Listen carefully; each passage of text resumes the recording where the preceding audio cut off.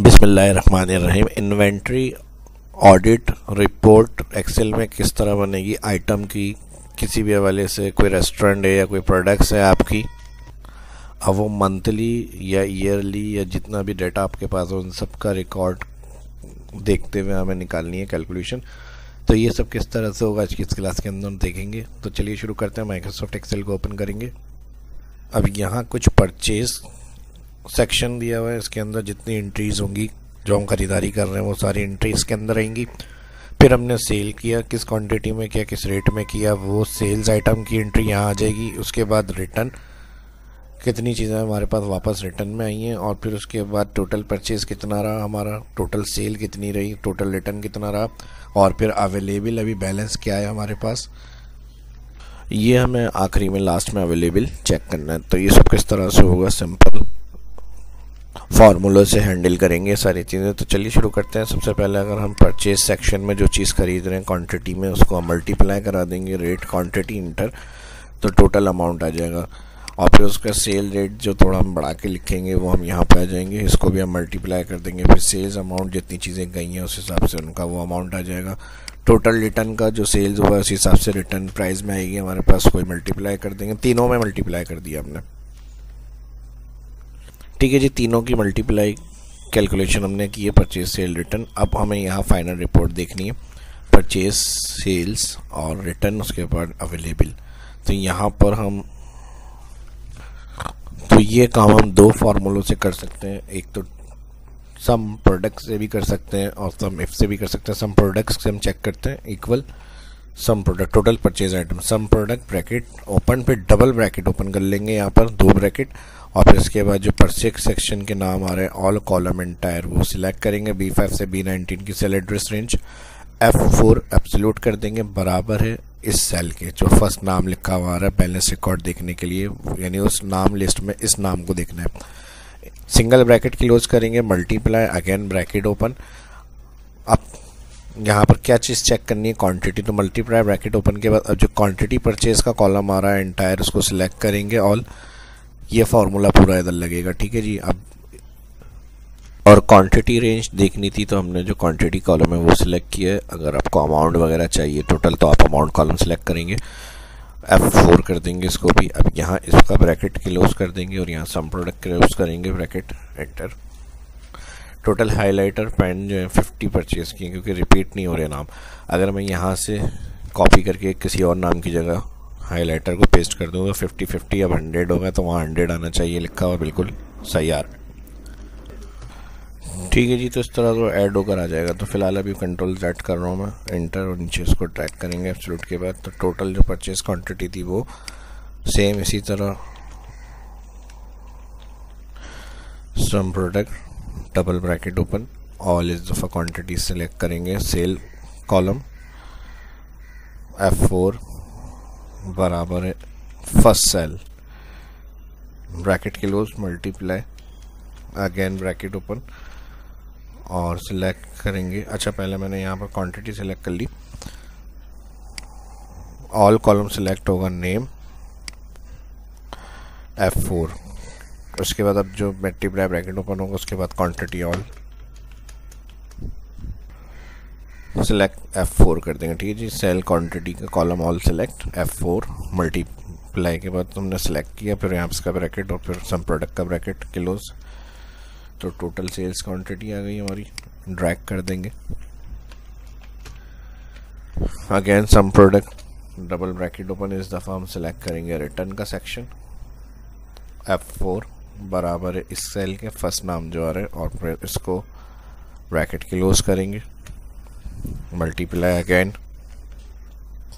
और multiply bracket open के बाद ऑल सेलेक्ट क्वांटिटी कॉलम और bracket close sum product close enter तो जो टोटल रिटर्न है वो आ जाएगा इंटर ड्रैक एफ़ फोर नहीं किया शायद हमने। इस कॉलम को भी एफ़ फोर कर देंगे क्वांटिटी को। ड्रैग ठीक है जी, ये रिटर्न की वैल्यू आ जाएगी टोटल आपकी। सेलेक्ट करेंगे इसको ऑनलाइन अब बैलेंस के लिए इक्वल सिंपल फार्मूला भी लगा सकते हैं। परचेज में प्लस कर दें रिटर्न माइनस कर दें सेल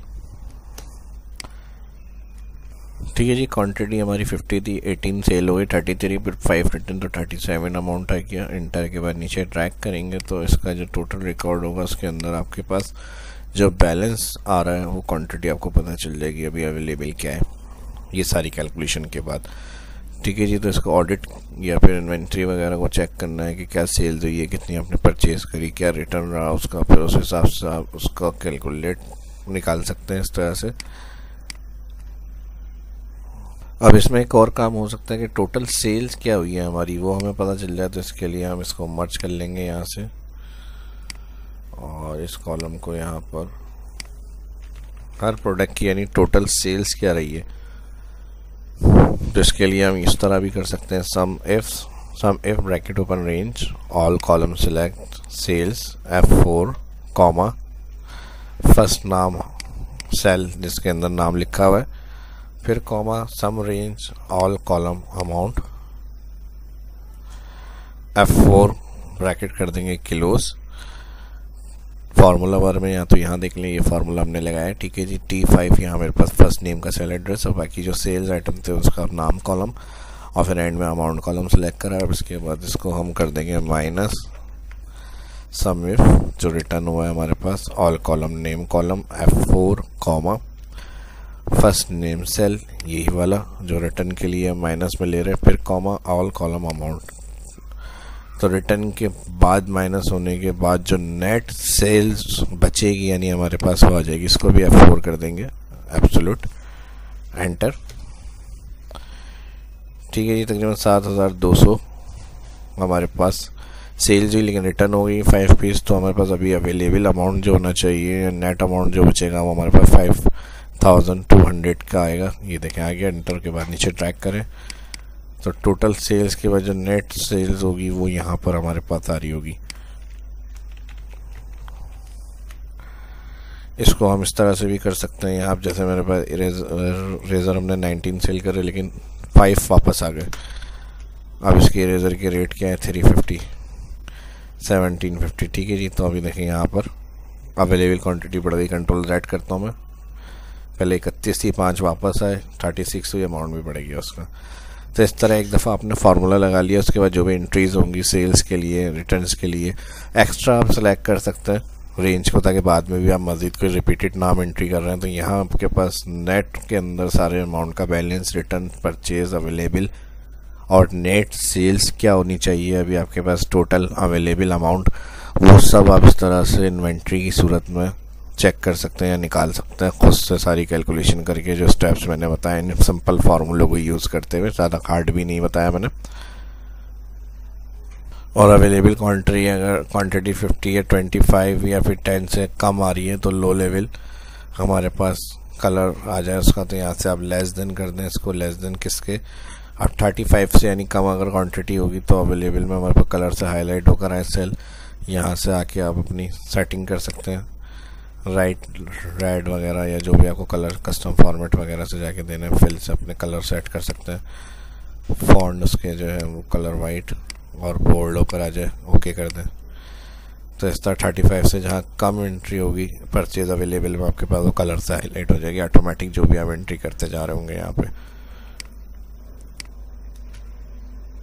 और इसके बाद लास्ट में सम लगा सकते हैं कि टोटल हमारी हर प्रोडक्ट की, इस प्रोडक्ट के बाद सेल्स कितना अमाउंट की हुई है हमारी। तो ऑल सम लगाएँ कॉलम सेलेक्ट कर लें नेट सेल्स का ब्रैकेट क्लोज लूज तो टोटल आपकी ये सेल्स हुई है। ठीक है जी ऑल आइटम परचेज और फिर उसके बाद जो सेल हुआ रिटर्न के बाद टोटल सेल्स आपकी ये अमाउंट बनेगा।